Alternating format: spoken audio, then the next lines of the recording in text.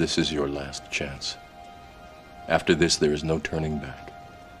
You take the blue pill, the story ends. You wake up in your bed and believe whatever you want to believe. You take the red pill, you stay in Wonderland, and I show you how deep the rabbit hole goes.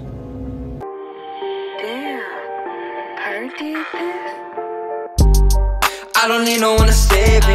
I was born to be the greatest. All that time in that basement, all that time isn't wasted. Rapping getting faded. I just wanna tell my mom that I made it. Just wanna be the topic of the conversation. Used to rock the gold plated. Now I'm wearing gold chains like I'm famous. This mural is important because this is Jaime Garzon, who was a political satire comedian, right?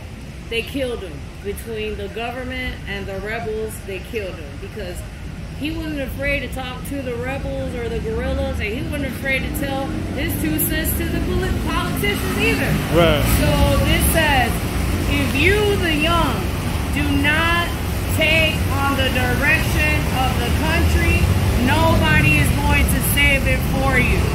He said this in 98. 1998. He died in 1999. He Oh, came wow. to Cali to talk at the university, my alma mater, Univalle University, Universidad del Valle, it's a public school on the south side of town. Um, this is in dedication to our hopefully future vice president, Francia Marquez, black woman, has no political background. She came in third place for presidential candidate runner-up with no political background, no backing from any other politicians. She came out from, you know, from the boonies because she's like from way out there, from uh, Cauca, another state. Okay. Um, he's always been an advocate for um, women's rights, black rights, social justice leader.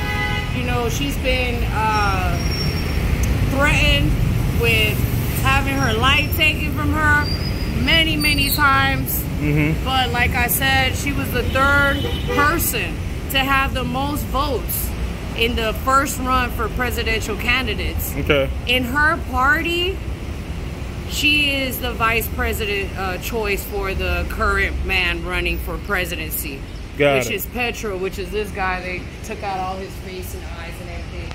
People don't like him because he was once part of the ELN National Liberating Army of Colombia. Mm-hmm. So they don't believe that he'll be a good president. They actually think he's going to be like the next Maduro or Hugo Chavez from Venezuela. These are typical drinks that are made on the Pacific coast. Let's say that it's like uh, liquid Viagra for men. Oh, okay. And for women, it depends on which drink you have. It could be great for cleaning out your uterus or if you want to get pregnant. Uh, today we're going to try tumbacatre with chontaduro, which is an aphrodisiac fruit from here. It kind of has like a yummy taste. I'm gonna see if we could try one at the farmer's market. Bottoms up. There you go. Oh, oh man. This is for Hold you. on. I'm about to take the camera Here, off let for me, this let me, let me record you. there you go. This is why I got the glasses on. Bottoms up. This one's actually kind of sweet because it's creamy based. it's good. Um, my preference is I like Toma Seca. This is great for women who have really bad cramps. Um, Pipi Longo. It has it's spicy because it comes with a here we go. It comes with a um a pepper seed that only grows on the Pacific coast. Okay. This brand is really good to buy from. They're legit. I like them. But you can usually find some in the farmer's market. Okay. Um, Viche Curao is my actual favorite because it has like medicinal herbs. and Violeta de Mercado Alameda. We're in the farmer's market. This is one of the oldest ones. I believe it's like 50, 45 years old. They actually fixed it up because the other three are a mess. That's what the government does with the money. They just don't invest in. But this is like the farmers market, farmers that don't live near here or live near the city come and bring their produce usually on a Tuesday. And um, although it might be a little bit more expensive to purchase here, it's more worth it. You know that these uh, fruits and veggies and meats are coming from the farm, so technically Right. There's no like there's no pesticides. types of pesticides or weird chemicals or anything like that. Yeah. So so it's just so it's basically organic, right? Yeah, it's organic. Yeah. Most okay. of it is Right, organic. yeah. Okay. Got it. These women sell a bunch of stuff. What is that? Oh, honey. Permiso, qué pena, mano. Buenas tardes. Buenas tardes. Buenas tardes. Like you usually come here four or five in the morning after party, and we like to eat at Carolinas. And the, the first one, we say Jenna because our double L is pronounced Jen. Right. Yeah. Jenna are blood sausage, basically. That's what it is. You come here, eat some blood sausage with ogao. Ogao is the basically it's like the holy trinity that we use for our food. We have your onion, your tomato, your scallions, your garlic. It's like the holy trinity or base for any type of dish, Colombian dish. We got the guy behind us again. Gotcha. Um, yeah, we have all these fruits and all this good stuff. This is like pumpkin. We use it a lot for our uh, stews or creams. We use it as a base a lot. Es Okay. buena grabar las fruticas, ¿sí? No la gente. Solo Okay, okay, gracias. We good.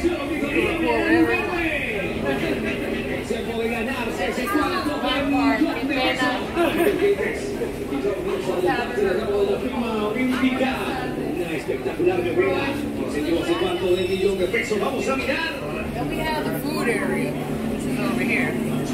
Buenas. Buenas. Buenas, madre. Buenas. Then you have your food area. There's like restaurants over here. You can sit down and have lunch here as well. I just get too hot to come in here and have lunch. Hola, buenas. He's Yeah. doing the process of making tamales. Um, you know banana leaves from Jamaica. Right. So basically, they stuff it with meat, and then they put the um, they put the stuff on, in it.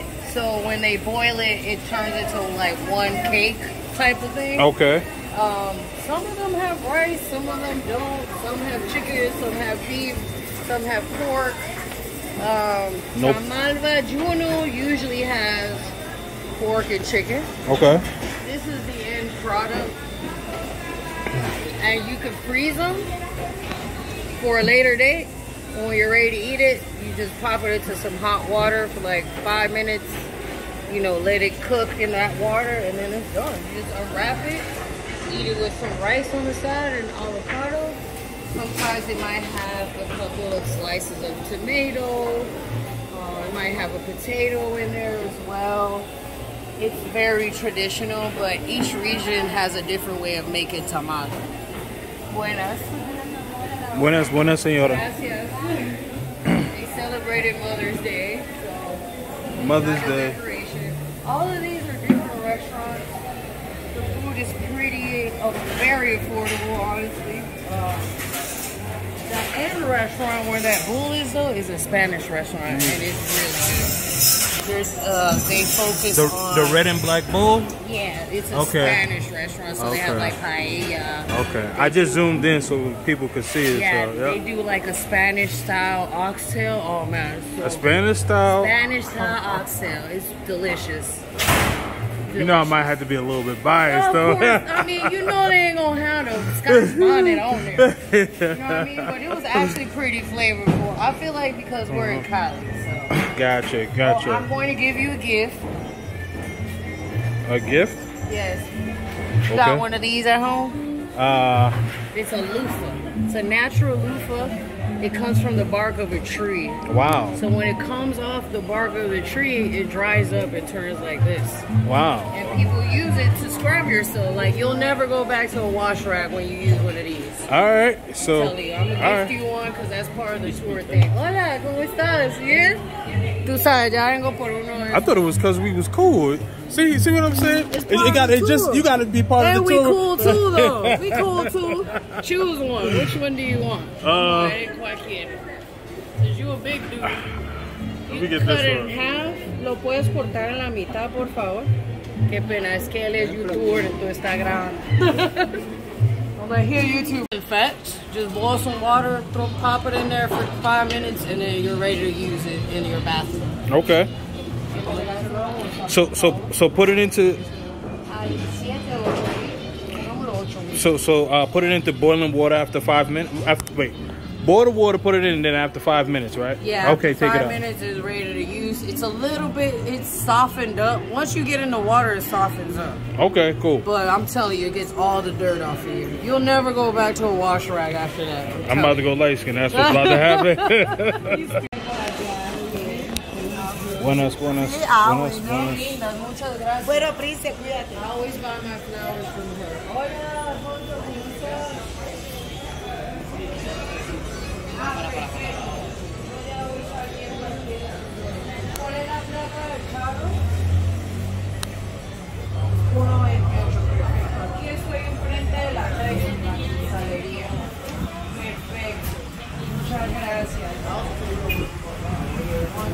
All right, our car made it perfect time. Alright, so good morning, everybody. We're restarting. We're finishing the tour today. So this is uh, farm cheese. It's from the farm, and traditionally, in the mornings we either have coffee, black coffee, or uh, hot chocolate. If you've ever been to Mexico and had hot chocolate there, it's kind of like the same here, um, but we like to add cheese. I'm not having hot chocolate this morning. If you want a close up on what I'm drinking, this is agua de panela, which is similar to what we had a drink yesterday, the lemonade, minus the lime. So what you do is you heat up the water and you add the block of uh, blo- the Block of cheese? brown brown sugar Oh, brown sugar. because okay. it's brown sugar without being uh I'm thinking in Spanish processed before Ah. it's refined and Right, right. granulated. right. Um, esto es la basura, ¿cierto? Okay. And when you have uh, this kind of brown sugar, it still has all of its vitamins like vitamin C, vitamin A. Uh, it's very traditional. We use it to sweeten a lot of things. Maybe our coconut rice, our coffee in the morning. We would rather use this than actual sugar. Um, that's a traditionally made black coffee. They'll add the coffee to the brown sugar. So when you're sick, you know, like Jamaicans have hot tea, you know, with lime and ginger and honey and stuff Right. like that. Yep. What we do is you get your water to a rolling boil, you drop your chunk of brown sugar, of panela. In other uh, Latin places, they call it pilon or piloncillo. Mm-hmm. Um, you let it melt. You know, you're gonna see it. It kind of has that effect of milk to where when it's done, it's gonna start foaming up. So that's when you turn it down. You add some slices of ginger, some cloves, some cinnamon sticks, and once you have it in your cup, you squeeze some lime. And then you take your meds and drink it like that. Okay. Now, when you're not sick, you don't add the lime, you add some cheese. Gotcha. And then you just have it for breakfast with, typically, we'll have it with an arepa with cheese as well, or just a regular arepa, or we'll have a one of these crunchy bits over here. It's called hojaldra, and basically it's just like flour, water, maybe one egg, um, su- sugar and salt. And okay. it's just like this crispy, hard dough that you eat. It's pretty good. Um, but I prefer my dad's. These, these are good, don't get me wrong. Like the old man here, he makes really good hojaldras. I just prefer my dad's because he actually squeezes a little bit of uh, orange and Ah. he adds a little bit of orange peel to his. Okay, so he so a little so some citrus. Yeah, he adds a little bit of citrus. Has a little bit of citrus flavor, Okay, cool. basically. Okay. Go ahead. All right, so over here we have the west side of Cali. Yep. Old money, new money type of thing. Uh, it's kind of hazy today, but you see the tallest building is over there. Yep. Torre de Cali or Cali Tower. It's like up to 45, uh, 45 floors, I believe. Okay. Um, then we have downtown. Okay. Downtown is right over here as well. Yep. Um, then we have the middle of town right here. I would call it like, I guess South Central, because that's like the area I live in. We got our stadium right here, Pascual Guerrero. Um, my favorite team plays there, America de Cali, Okay. Red Devils. The importance of the teams in Cali is very important. There's two teams, big teams. Deportivo Cali is green. America Cali is red. We're the Red Devils. Mm-hmm. Uh, Deportivo Cali are the Azucareros.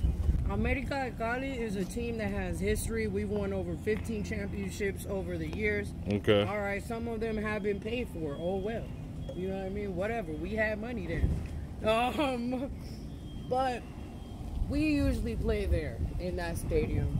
They do all the big concerts there. Karol G is gonna perform there actually on Saturday. Um, then we have the south side of Cali is down there. It's a new area. Uh, it's still being developed. Actually, there's more and more places popping up. We can't see the east side because it's hazy this morning, um, but the east side is that way. Um, Okay. Some people say, "Oh, the east side is scary. Gotta be careful."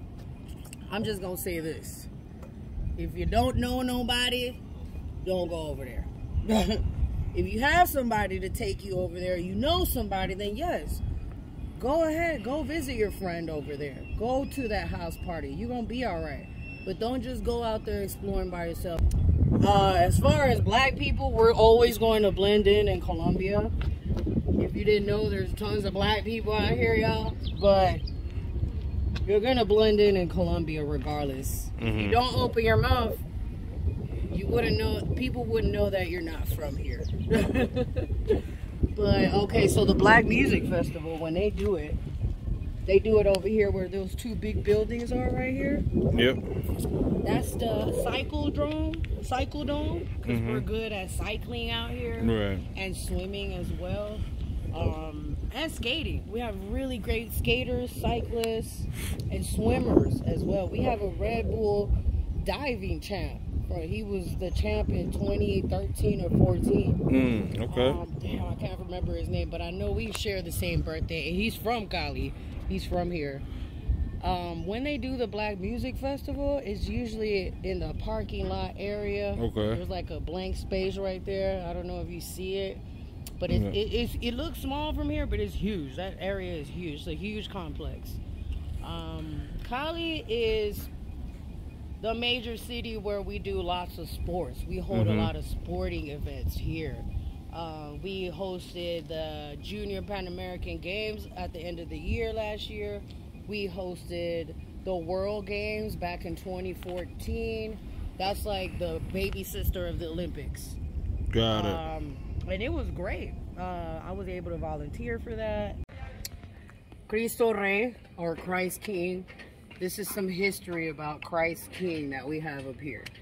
Um, so the, how do I say sacerdote? Uh, a Jesuit priest Mm-hmm. uh, named Jose Maria Arteaga was the guy that directed this work of art from 1949 to 1953. The sculptures that were in charge were the brothers, Italian brothers Adelindo y Alideo Tazioli. They signed their name right there. 1953. Okay? It weighs 464 tons and its height is 26 meters, including the five meters of the pedestal. That's five meters? I'm short. I don't know what it is in inches or feet, y'all. Just do the conversion. Oh, it was inaugurated October 25th, 1953. Its final cost was 170,000 pesos, which would be equivalent to like maybe like $50 now in, in Yep. our current money. Yep. Look, he just made it up here. Mm-hmm. just made, oh, we just passed him on the way up. Awesome. Um, the image was made or erected to commemorate 50 years of peace after the 1,000 Days War. Uh, it's administered by Parks and Recreations in Cali. Um, now, some curious facts of Christ King. Now, up here it says a, a hug with Caleño sentiment or feeling. Now, remember, Caleño means you're from Cali. okay? I'm a Caleña. I'm an adopted Caleña because I'm technically from Buenaventura. Um, so, curious facts. This monument for Christ King is only 12 meters off of the one in Brazil. Mm, So okay. they're really not too far off from each other. Right. Um, 35 tons of steel, a thousand sacks of cement, and 100,000 liters of water were transported up here to create this. Back then in 1953, there weren't more than 60,000 people living in Cali.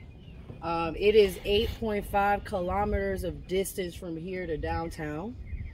Um, and it sits 100, I mean, 14, blah, 1,440 meters above sea level.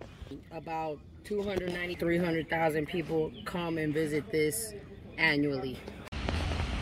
We're at Museo La Tertulia, aka the our version of the MoMA, uh, Museum of Modern Arts, and we're looking at a mural that is talking about the beauty and I guess the curse of being from areas of the Pacific coast like Buenaventura, as it says up here. You have your rivers that source the jungles because going towards Buenaventura, you have a lot of jungle and mountains there. Um, and remember, I told you earlier, we went to a, a old, um, an old Afro-Colombian gold mining town in these areas. So in the mural, of course, they're showing you how illegal mining is destroying the natural rivers in the area. Um, we have our chontaduro here. Next time you come, we'll have to try this and see if you like it. It's an aphrodisiac. Um, it has like a yammy taste. People, people either like it or don't like it. I love it. I love it with honey, salt, and lime. It's delicious. Just a great like snack and nutritious as well. Aside from the fact that it's an aphrodisiac. Um, you have your different flora, your different fauna. You have your Mother Earth. Um, here you have conflict. These are the rebels throwing people into the water, innocent people or even their own people. You have the black woman who has, who is the backbone of the world, basically. You have more rebels and fear here. And it's a lot of the things that we go through as being Afro-Colombians in areas where the government doesn't care about us, basically. Um, This is Buenaventura's nickname, okay? As you can see, the spelling, Buenaventura up there, it has three, it has like several nicknames. You could call it Tura by itself, T-U-R-A, or I might write it with a B and then a dash and write Tura on the side just to not write the whole word. Um, there was a famous rapper from Buenaventura. Unfortunately, he was shot dead last year um, around June, and right before his birthday.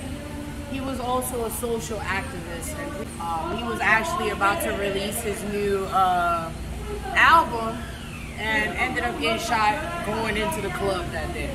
Horrible. And it happened here in Cali, unfortunately. I have to tell the reality of things. Every I can't sugarcoat it. Um, again, the black woman putting everything on their back. Y'all know what it is. If it wasn't for black women in this world, uh, I'm not trying to be racist or anything, but it's the truth. And then you have the strength of black people right here. You have your strength, our day to day, trying to be strong, trying to get over all this conflict and things that are brought upon us. Our happiness, our music, our meals. This is the showcase of basically Pacific Coast. A lot of what you see here is a lot of what happens up and down the Pacific Coast. There's a lot of rebels trying to take over the area. It's a rich area with jungles, with minerals, with fresh water. Then you have the sea as well. Uh, the thing about the rebels is um, it's the drug trafficking. It's an easy route to get to Panama and other places of the world. It's a horrible drug route. I'm sending everybody homework. If you have Netflix, watch The Business of Drugs and watch the first episode. It talks about Buenaventura and drug trafficking and why it is one of the most important routes in the world. Alright, hey y'all, we're in the Cat Park in Cali. It's just a nice place to come and take a stroll next to the river. It's dirty again, that means it's raining up top on the mountains. Hasn't really cleared up.